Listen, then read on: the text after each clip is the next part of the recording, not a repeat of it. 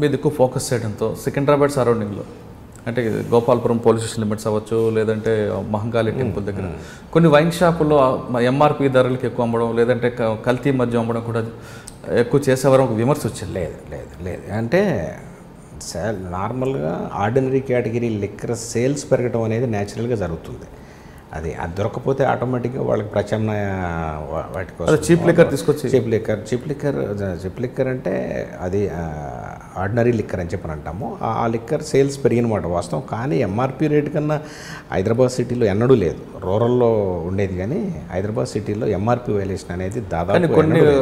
పటాన్చేరు ఆ ఏరియాలో నుంచి కొంత కల్తీ మద్యం తయారు తీసుకొచ్చి అమ్మడం జరిగింది. ఎందుకంటే నేను చెప్తున్నా డిమాండ్ ఎక్కువ ఉంది సప్లై లేదు.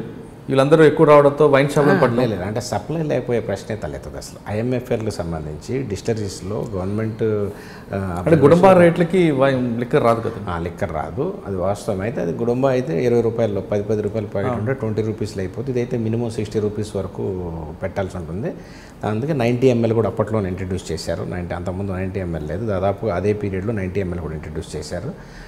ఇక అది ఎఫర్డబిలిటీ పెట్టడం కష్టమైనా సరే అది ప్రమాదకరమైంది ఆరోగ్యానికి హానికరమైంది కాబట్టి దాన్ని వదిలేయటం మూలంగా అసలు అంటే ఏదో ఒకటి తాగాలి అనేది అది ఎవరో చెప్పజాలము. అది కంప్లీట్గా దాన్ని దూరంగా ఉం- ఉంటేనేమో వాస్తవంగా మా డిపార్ట్మెంట్ లక్ష్యం కూడా వాస్తవంగా జనాల యొక్క తాగుడు అవసరాలు అనేది నిర్దేశించే నిర్దేశించేది డిపార్ట్మెంట్ కాదు ప్రభుత్వం కాదు వాస్తవంగా. అంటే ఎందుకు తాగుతారు అనే దాన్ని నిర్దేశించే అంశాలు మనం చూసినట్టయితే ఇప్పుడు అది సొసైటీ యొక్క కల్చరల్ యాక్టివిటీస్ అదేవిధంగా ఫైనాన్షియల్ ఫ్లో ఫైనాన్షియల్ ఫ్లో మీరు గమనించినట్టయితే ఒక ట్వంటీ ఇయర్స్ క్రితము థర్టీ ఇయర్స్ క్రితం మీరు గమనించినట్టయితే అప్పట్లో నాన్ వెజిటేరియన్ కన్జంప్షన్ చాలా తక్కువ ఉండేది. ఎప్పుడో పండక్కి పబ్బానికి మాత్రమే నాన్ వెజ్ తీసుకునేవాళ్ళు. అదేవిధంగా మద్యం వినియోగం కూడా చాలా తక్కువగానే ఉండేది. ఎట్లయితే ఆర్థిక వనరులు పెరుగుతూ వస్తున్నాయో రకరకాల కారణాలతోటి ఇప్పుడు అలవాట్లు కూడా అలవాట్లు మారుతూ వస్తున్నాయి. దాంట్లో ఫస్ట్ ఎఫెక్ట్ ఇచ్చేది non veg consumption second effect ఇచ్చేది లిక్కర్ కన్జంప్షన్ నాన్ వెజ్ ఉందంటే ముక్కుంటే మందు ఉండాలి కదా. అంటే అంటే జనరల్గా జనరల్గా అది ఉండాలి కదా. ముక్కు ఉన్నప్పుడు మందు ఉండాలి మందు ఉంటే ముక్కు ఉండాలి ఒకసారి ఆర్థికంగా వెసులుబాటు పెరుగుతున్న పరిస్థితుల్లో ముందుగా తన లైఫ్ని ఎంజాయ్ చేసేదానికి క్రమంలో ముందుగా ఫుడ్ యాక్టివిటీ తర్వాత దాంతోపాటు దానికి అనుగుణంగా ఇది పెరుగుతూ వచ్చినాయి ఇది.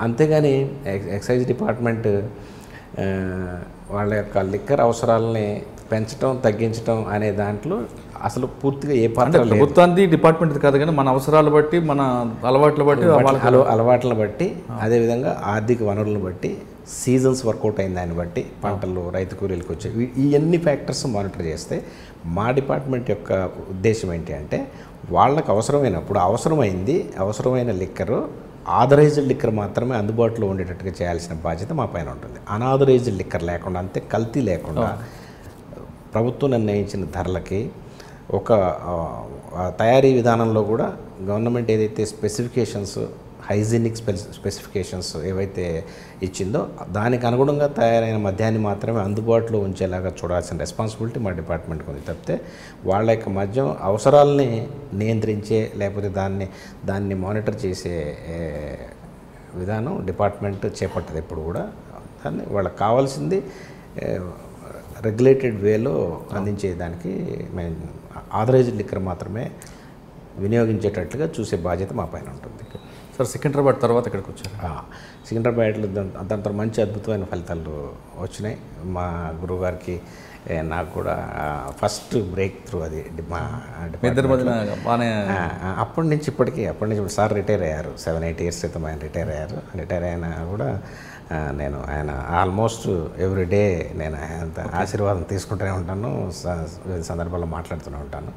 అయితే దాని తర్వాత ముషీరాబాద్లో సబ్ ఇన్స్పెక్టర్గా మారేడుపల్లి అండ్ ముషీరాబాద్ రెండు స్టేషన్స్లో ఒక టూ ఇయర్స్ మళ్ళీ పనిచేశాను. అక్కడ కూడా ఆ, ముషిర మారేడుపల్లి స్టేషన్ ఆల్రెడీ సికింద్రాబాద్లో పార్టే అది. తర్వాత కొత్తగా స్టేషన్ అప్పుడే ఏర్పాటు చేయబడింది. దాంట్లో సిక్స్ మంత్స్ పనిచేశాను. ఆల్రెడీ బందే ఉంది కాబట్టి దాంట్లో పెద్దగా ఏం పని లేదని చెప్పి నన్ను ముషీరాబాద్లో తీ వేశారు అప్పుడు వెంటనే సిక్స్ మంత్స్లోనే ఆ ముషీరాబాద్లో క్రైమ్ విపరీతంగా ఉండేది. ముషీరాబాద్లో ఇప్పుడు మాణికేశ్వర్ నగర్ అని ఉస్మాన్ యూనివర్సిటీ ఆనుకొని అని చెప్పి వడ్డరి బస్తీ ఉండేది. అట్లనే సీతాఫల్ మండి అని చెప్పని ఒక ఏరియా ఉండేది. చిలకలు కూడా సీతాఫల్ మండి. ఆ ఏరియా అంతా పార్దీస్ ఉంటారనమాట పార్దీవాడ అని చెప్పని అక్కడ ఉండే. అట్లనే వారాసిగూడ అని ఒక ఏరియా ఉంది. అక్కడ కానివ్వండి అదేవిధంగా పార్సిగుట్ట కానివ్వండి Parsigutta area Ramnagar area Mushirabad Daira colony అదేవిధంగా గుల్షన్ నగర్ ఈ న్యూ బోయిగూడ ఇంకా ఇటు వచ్చేటప్పటికి లోయర్ ట్యాంక్ బండ్ ఈ ఈ ఏరియా బండమైసమ్మ నగరు ఈ ఏరియా అంతా కూడా విపరీతమైన కుటుంబడ్డాలు ఉండేవి. ఎట్లయితే సికింద్రాబాద్ సేమ్ ఆల్మోస్ట్ సికింద్రాబాద్లో ఎంత క్వాంటమై ఐడియా అయితే ఇక్కడ కూడా అంత అంత విపరీతంగా ఉండేదన్నమాట. అక్కడ అక్కడ కూడా నేను సబ్ ఇన్స్పెక్టర్గానే పనిచేశాను. ఆ, అక్కడ ఇన్స్పెక్టర్ గారు సహకారం తీసుకొని ఆయన నాకు స్వేచ్ఛనిచ్చారు వర్క్ చేసే దానికోసము ఆల్రెడీ అక్కడ వర్కౌట్ అయిన ఫార్ములా ఉంది కాబట్టి. దాన్ని. లీడర్షిప్ వేరే లీడర్షిప్ అయినా సరే ఫార్ములేటెడ్ ఫార్ములా కాబట్టి ఇక్కడ నాకు ప్రయోగానికి ఆయన అనుమతి ఇచ్చారు ఆయన సహకారంతో ముషీరాబాద్ని కూడా గుడంబ ఫ్రీ డిక్లేర్ చేయడం జరిగింది. కంప్లీట్ ఎక్కడ ఒక్క బొట్టు లేకుండా మిగతా నాతో పాటు ఇంకో ఇద్దరు సబ్ ఇన్స్పెక్టర్లు కూడా ఉంటారు అక్కడ. ఇప్పుడు రజాక్ అని మా బ్యాచ్మేట్ ప్లస్ రామిరెడ్డి అని చెప్పిన ఇద్దరు ముగ్గురు సబ్ ఇన్స్పెక్టర్స్ ప్లస్ ఆయన మా ఇన్స్పెక్టర్ గారి ఆధ్వర్యంలో మొత్తం కంప్లీట్ చేయడం జరిగింది. అప్పుడు రెండు వేల నాలుగు సమయంలో నాకు ప్రమోషన్ వచ్చింది. ఇన్స్పెక్టర్గా ప్రమోషన్ వచ్చింది. ఇన్స్పెక్టర్గా ఫస్ట్ పోస్టింగ్ నాకు అమీర్పేట్ ఎస్హెచ్ఓగా పోస్ట్ చేశారు. మీరందరూ కూడా ఐ డ్రీమ్ ఛానల్ని సబ్స్క్రైబ్ చేయాలని కోరుకుంటున్నాను. I'm Sucharita, Home Minister of Andhra Pradesh. For more videos, I dreams. Meecharla Jaggireddy MLA Kothapeta. For more videos please subscribe I dream for more videos please subscribe I dream నేను మీ Jakkampudi Raja. For more videos please subscribe I dreams I'm Revathi Chowdary for more videos please subscribe I dream for more videos please subscribe to I dream for more videos please subscribe I dream I'm Vasireddy Padma chairperson of state women commission for more videos please subscribe I dream